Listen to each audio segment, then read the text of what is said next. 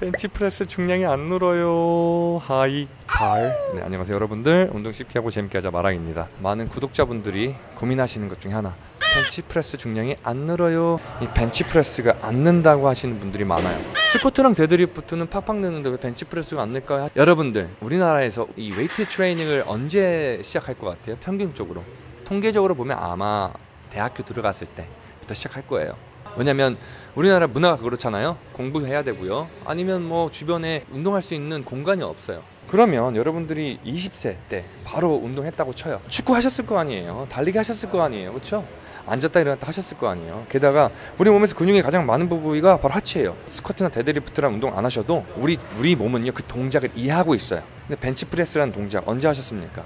그러한 유의 운동을 전혀 안 해봤기 때문에 우리 몸이 이러한 동작에 익숙하지 않아요. 벤치프레스 중량을 늘리는 가장 중요한 것 중 하나가 바로 기술입니다. 근 협응력, 근신경계의 발달, 중량이 안 되는 이유 중 하나가 바로 기술적인 면의 부재예요. 배우지 않았다는 얘기예요. 그리고 두 번째, 조급함. 다 양심이 없으세요. 뭐 근처에 뭐 벤치프레스 100kg 들고 120kg 들고 참 저런 사람들 보면서 나도 할 수 있겠다라고 생각하는 건 괜찮아요.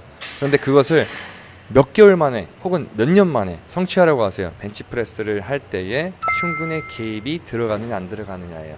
제가 벤치프레스에 대한 이 증량을 고민을 할 때는 할 때는요. 솔직히 여러분들처럼 막 심하게 고민하진 않았어요. 왜냐면 저는 굉장히 자연스럽게 배웠거든요. 어렸을 때 우리나라 학생들이 축구하는 것처럼 이제 여러분들이 운동해야겠다라고 마음 먹었을 땐 조급함이 너무 많아서 벤치프레스에 대한 이 메커니즘을 이해하지 못할 뿐더러 여러분들의 몸을 이해를 못해요. 이것을요 다팔 힘으로 들어요. 그럴 수밖에 없어. 여러분들 언제 흉근을 사용해서 운동을 해보셨습니까? 없어요. 게다가 시작하는 게 몇 킬로? 20킬로, 30킬로 시작해요.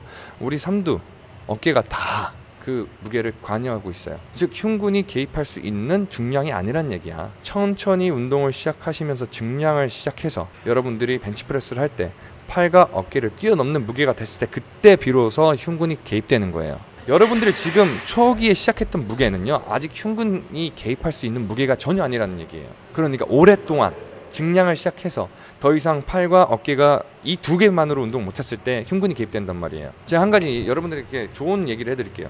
만약에 흉근이 잘 사용 안 돼요. 흉근이 펌핑이 안 돼요. 뭐 자극이 안 돼 하시는 분들은 자세를 다 떠나서 선피로부터 해보세요.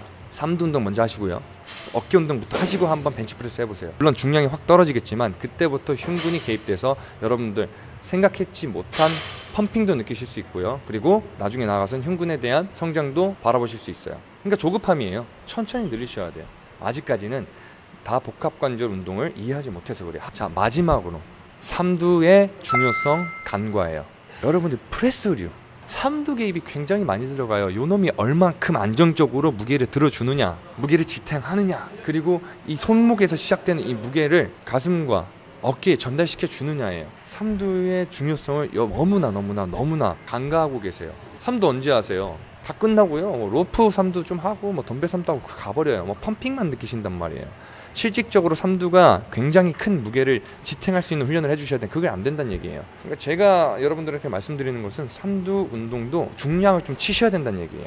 자연스럽게 치시는 거는 예를 들어서 뭐 shoulder press라든지 아니면 유, standard grip으로 한 그러니까 자기 어깨 넓이로 잡으신다든지 뭐 military press든 아니면 push press든 다 넓게 잡으시기 때문에 삼두 개입이 떨어지고 어, 숄더에 개입이 들어가요. 그럼 나중에 고중량을 치고 싶을 때 가장 도움이 될 수 있는 삼두가 없어요.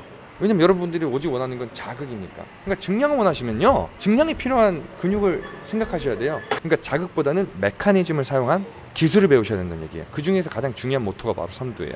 첫 번째로는 기술을 배우셔야 됩니다. 두 번째는 구력이 있으셔야 되고요. 세 번째는 삼두의 중요성이에요. 그러니까 자극보다는 무게를 쉽게 들 수 있는 방법에 대해서 떼다르셔야 된다는 얘기예요.